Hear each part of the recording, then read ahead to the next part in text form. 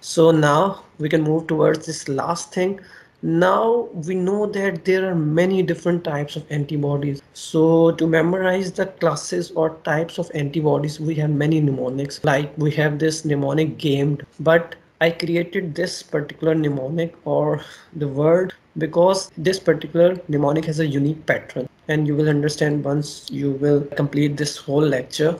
Now, if we talk about MADE-G, now we know that there are five different types of antibodies. In the beginning, I told you that antibodies also go by the name of immunoglobulins. So we have immunoglobulin M, then IgA, E, D, G, and so on.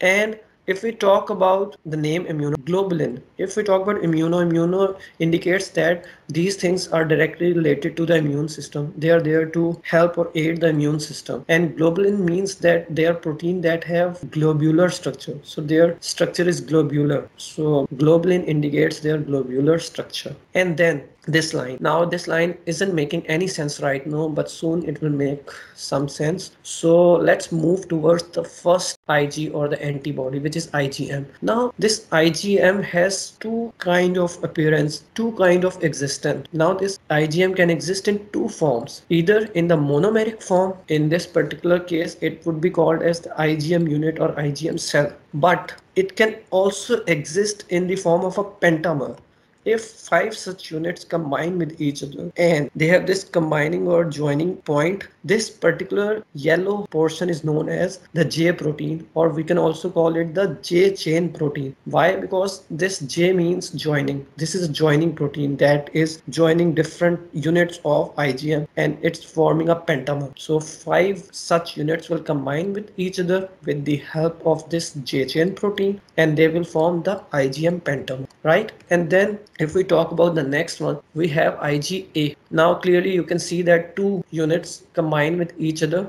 to form this dimer. Earlier we talked about the pentamer, now we are facing a dimer. And again we have the J protein, the joining chain protein that is letting them to join with each other, that is helping them to join with each other. Now we also have a unique structure here, this wave-like structure. I will talk about this particular thing in a moment, but right now we're just talking about structure so i am not highlighting its function. We will talk about function in a moment. Now comes the next thing. Now we have this line. Multi-armed digger digs a single hole. Still it isn't making any sense but when i will talk about all the different kinds of antibodies it will make a certain sense. Now comes the next three antibodies d g and e they have this one common aspect that they are all monomeric. They exist in the form of monomers. They have few structural differences but apart from few structural differences they are all same. They are same in one aspect that they exist in the form of monomer. Now if we talk about this line now multi-armed digger digs a single hole or multi-armed digger digs a single hole. So now you can make the sense. Now it's pretty obvious that multi-armed means that these two things things, IgM and IgA, they prefer to exist in the form of polymers, either the dimer IgA or the pentamer IgM. So they are multi-armed. Just for the sake of simplicity, let's call them these things the arms. So it has two arms, it has five arms. So that's why I try to create this line multi-armed. So M and A they are actually the multi-armed or they are actually the dimers and pentamer respectively. But Digger digs a single hole. Digger has these three immunoglobulins, IgD, then IgG and E single let's focus on this particular word. They all exist in a single monomeric form. So that's why i created this line. So we can easily memorize these two things m and a. They are multi-armed or they exist in the form of polymer while if we talk about the other three they have a single unit. They exist in the form of single unit or monomer I hope the structure is quite clear. Now we can move towards one last thing. We have all the three IGs which are D, G and E. Okay, lastly, we can group them. As you can see on the right side of the screen, you can see IgD, IgE and IgG. So if we specifically talk about IgE, now it has an elongated structure. Earlier, I told you that there are some antibodies that also have the extra constant region. If we specifically talk about their heavy chain,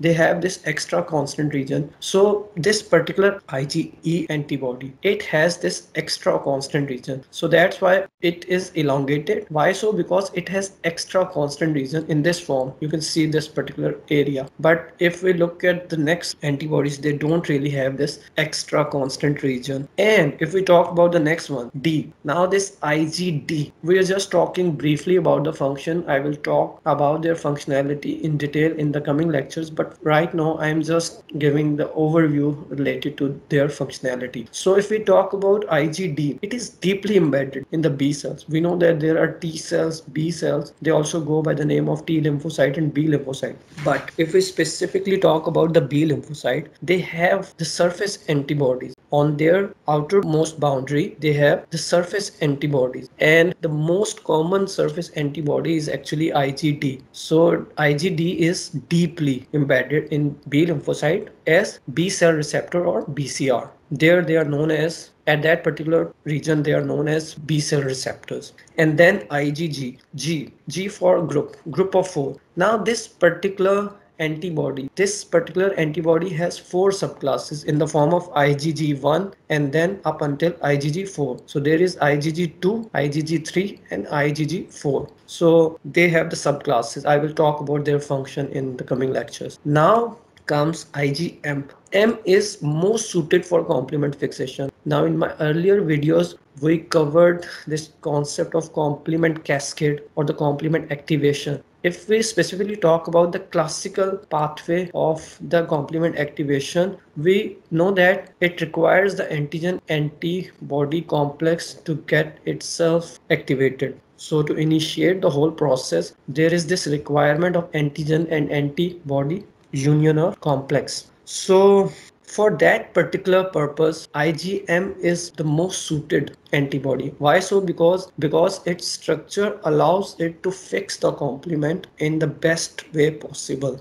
as compared to the IgG, this particular IgM is more suited for that particular job, right? Because it perfectly attaches the complement to its surface because of its pentameric structure, pentameric alignment so next thing is that it is also possible it's also possible that this particular igm can exist in the form of monomer and again on the surface of b cell it can exist as the B cell receptor. So along with this IgD, this particular IgM also has this ability to exist as BCR on the surface of B lymphocytes. And lastly, we can talk about the IgA, the dimer. We haven't talked about this wave-like thing there. Now this wave-like thing, we can say that this A antibody or IgA is armed with secretory component. This particular wave-like portion is known as secretory component and and this particular secretory component is there to protect this IgA.